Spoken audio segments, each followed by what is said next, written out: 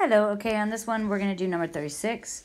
All number th 36 is doing is you're using the formula you're given. Steve uses the formula R is equal to D, distance, divided by the gallons, to determine the miles per gallon his car travels.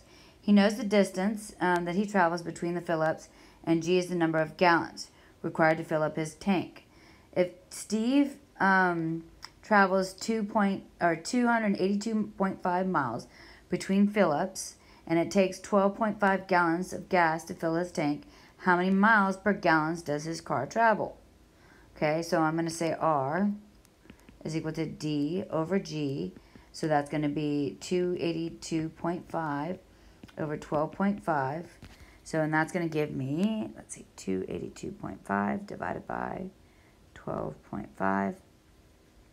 That's going to give me about 2.6 miles per gallon. And usually we say it something like that. That's it. It's that easy. Number 37, we're going to graph the solution for the system.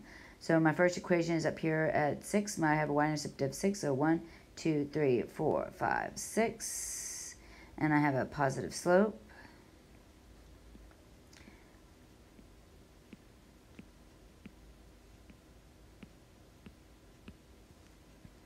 Mm-hmm insert my line.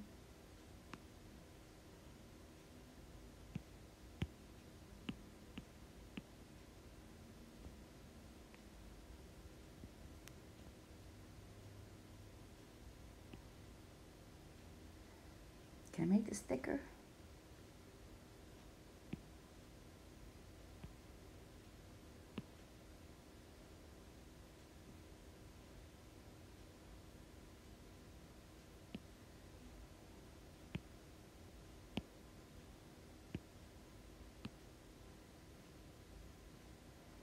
And that makes it a little bit thicker. Yeah, that works. Oh no, what did I do? Okay, there we go. All right, uh, I'm going to go over, I've got to fix my, having technical difficulties with the page here, so I'll fix that.